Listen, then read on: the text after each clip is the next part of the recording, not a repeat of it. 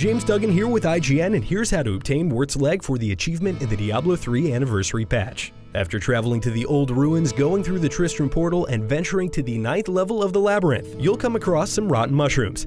Take the mushroom to Adria's hut in Retro Tristram and toss it into the cauldron. You'll then receive the Witch's Brew, which you'll need to deliver to Farnham's corpse. He'll dish out Drunkard's Debt, which can be exchanged at Ogden's corpse for Garda's letter. After a short walk to Pepin's corpse, you'll receive the healer's prescription, which can finally be given to Griswold's corpse for the Wirt's Leg recipe. Craft the leg at your blacksmith and the achievement is yours. For all things Diablo, keep it right here on IGN.